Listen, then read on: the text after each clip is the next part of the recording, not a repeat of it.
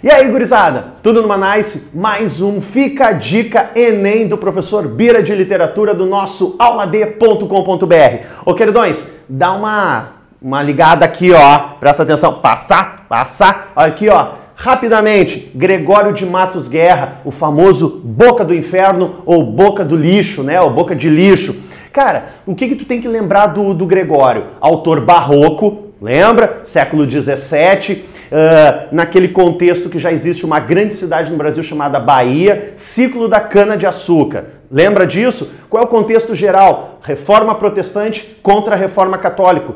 católica. Choques culturais, choques ideológicos, nesse caso religioso, que vai fazer o ser humano ficar ali nessa agonia, nesse conflito. Bom, isso vai ser representado na sua poética.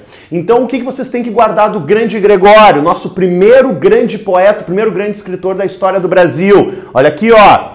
Vai, passa, passa. Aqui, ó. Ali, ó, os três tipos rapidamente. Vou mostrar com trechinhos de poemas para vocês lembrarem. Lírica amorosa, normalmente uma, um enaltecimento, uma elevação, uma homenagem à cidade da Bahia, mulheres, famílias, etc e tal. A religiosa, o tom é religioso nesse momento, né, pessoal? Então aqui é um pedido de desculpa, um pedido de perdão por ele ser humano e se equivocar, ou também elevação de, de Deus, JC, também conhecido como Jesus Cristo, né? Uh, figuras bíblicas e tal e a sua satírica, que por causa dessa poesia casca-grossa, que ele enfia o dedo na ferida, que ele critica, né, que ele simplesmente percebe os problemas daquela sociedade, ele ganha essa alcunha, esse apelido de boca do inferno. Sempre lembrando que também ele inovou por ter usado palavras de baixo calão, palavrões nos seus poemas, certo? Então aqui, ó, rapidamente para a gente ver a diferença dos três tipos para vocês. Olha aqui, ó, passar.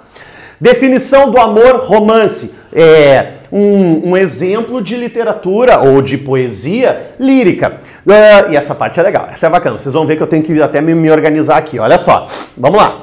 O amor é o finalzinho do poema, né? O amor é finalmente um embaraço de pernas, uma união de barrigas, né? Aqui, umas barrigadas, né? Ah, um breve tremor de artérias, uma confusão de bocas, né? Bocas ali se lambendo, né? Uma batalha de veias, um reboliço de ancas, né? Não pode esquecer disso. Quem diz outra coisa é besta.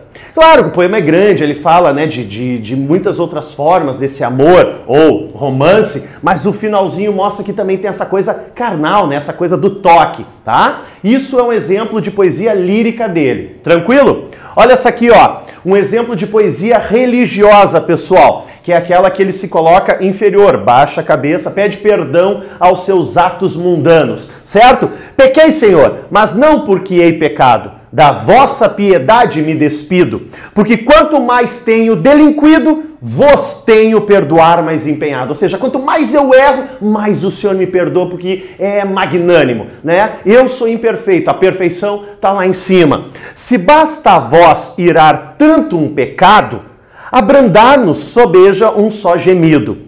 Que a mesma culpa que vos há ofendido, vos tem para o perdão lisonjeado. Então ele insiste, né? É, é, quanto mais esse pecado acontece, quanto mais ele simplesmente usa isso, digamos, ao contrário, né? A reciprocidade. Quanto mais ele erra, mais é protegido, mais é perdoado. Tá aqui.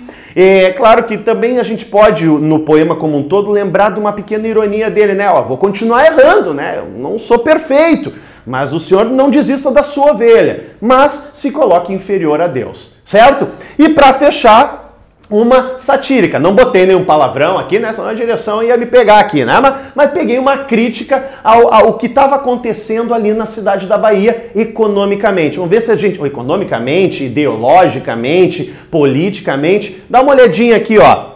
A cidade da Bahia, dois. A cada canto, um grande conselheiro que nos quer governar cabana e vinha não sabe governar sua cozinha e podem governar o mundo inteiro. Ou seja, não sabe resolver coisas simples e acha que pode governar tudo, né? Só aqui, só falando. Em cada porta, um frequentado olheiro que a vida do vizinho e da vizinha pesquisa, escuta, espreita, esquadrinha para levar à praça e ao terreiro. Olha aqui, meu, uma crítica também às pessoas, a fofocagem, né? Sempre levando as informaçõezinhas, espreitando aí, né, a vida dos outros. E tanto a praça quanto ao terreiro, pessoal. Então aqui ele está criticando que isso pode acontecer com os brancos e com os negros, os escravos também, tá? Então é uma sociedade que se perdeu, uma sociedade que ele critica, tá? Então tá aí os três exemplos da poesia do Gregório de Matos Guerra. Certo, meus queridões? Até a próxima!